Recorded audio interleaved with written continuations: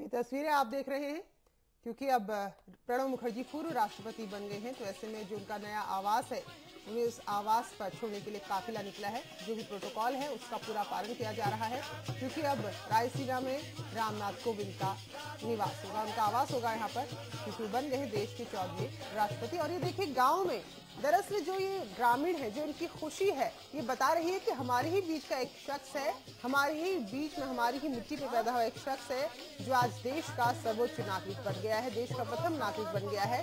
तो यही हम बार बार कह रहे हैं कि लोकतंत्र की खूबसूरती है कि आप किस माहौल में पैदा हुए, किन हालात में पैदा हुए, किस परिवार में पैदा हुए वो कोई मायने नहीं रखता है। आप में अगर आगे बढ़ने की काबिलियत है तो आप आगे बढ़ भी जाते हैं और देश के प्रति नागरिक बन जाते हैं।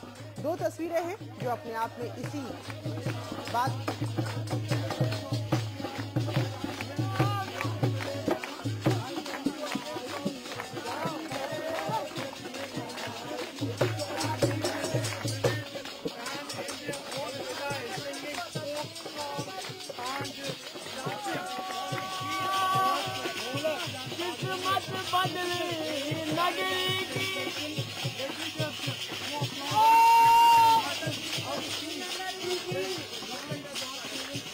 हाँ ठीक है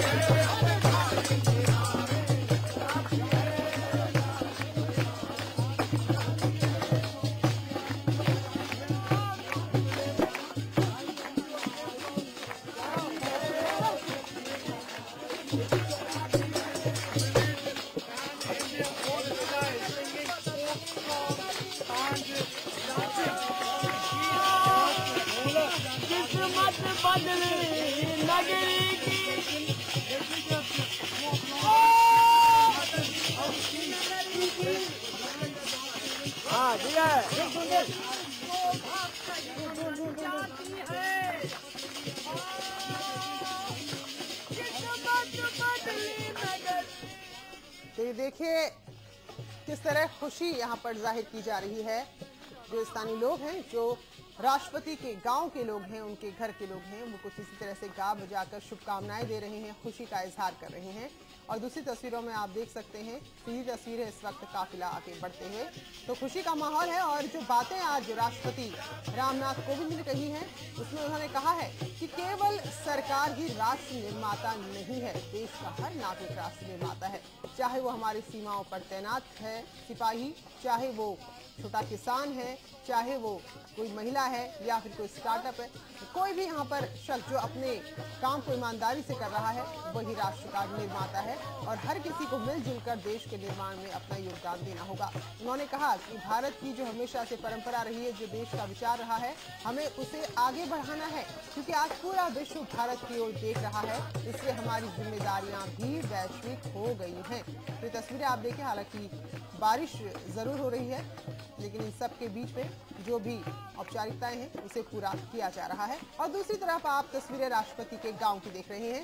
किस तरह से वहाँ का बच्चा बच्चा चाहे बड़े, बूढ़े, बच्चे, महिलाएँ, हर कोई आज जश्न में डूबा हुआ है, जैसे कि उन्हें कुछ और ख्याल नहीं है, केवल और केवल वो खुशी मना रहे हैं कि हमारे ही बीच से, हमारे ही जैसा एक शख्स आज इस दुनिया के इतने बड़े लोकतंत्र का राष्ट्रपति बन गया है, प्रथम नागरिक बन गए हैं और इसी खुशी का इजहार कुछ गा बजा कर यहाँ पर किया जा रहा है। तो काफ़ी दिनों से ये सिलसिला इस गाँव में चल रहा है जश्न इस गाँव में चल रहा है, जो अब भी जारी है।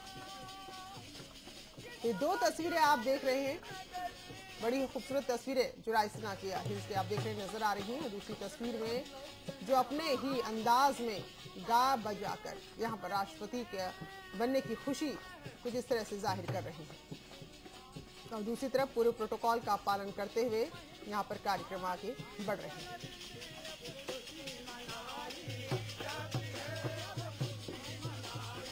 तो पूर्व राष्ट्रपति प्रणब मुखर्जी अब जिनका आवास बदल गया है, निवास स्थान बदल गया है तो उन्हें उन्हें नए आवास पर पूरे प्रोटोकॉल के साथ ले जाते हुए ये दस्ता आप देख सकते हैं इस वक्त तस्वीरों में।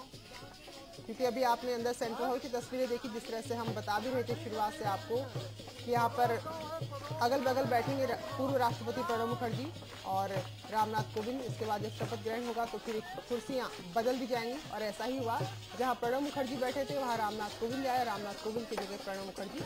तो वहीं अब आवास भी यहाँ पर बदल दिए गए हैं। अब नया जो आवास है प्रणब मुखर्जी का, पूर्व राष्ट्रपति का, वहाँ उन्हें ले जाया जा रहा है पूरे प्रोटोकॉल के साथ। देश के चौदहवें राष्ट्रपति के तौर पर रामनाथ कोविंद ने यहाँ पर चुनाव लड़ा और जीते।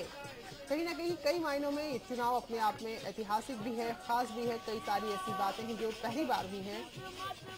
बीजेपी के उम्मीदवार के तौर पर जब मैदान में थे तो जीत तय थी तो बीजेपी ने अपने दम पर पहली बार किसी शख्स को राष्ट्रपति बनाया है। और उत्तर प्रदेश के लिए और भी गौरव की बात वो ये कि यूपी से ऐसे पहले शख्स हैं जो देश के राष्ट्रपति बने हैं। जी हाँ राजनीति में यूपी का भले ही दखल रहा हो देश की, प्रधानमंत्री कई यूपी से बने हों, लेकिन राष्ट्रपति यूपी से पहली बार बने हैं, रामनाथ कोविंद। रामनाथ कोविंद ने कहा कि हम एक हैं और हमेशा एक रहेंगे। जो हमारे देश की विविधता है, दरअसल यही हमारी ताकत है, यही हमारी पहचान है और यही हमें आगे बढ़ना सिखाती है और यही हमारी संस्कृति का सार भी है। वसुधैव कुटुंबकम यानी कि पूरा विश्व एक परिवार के समान है। हमें इसी सोच के साथ, इसी भाव के साथ आगे बढ़ना होगा।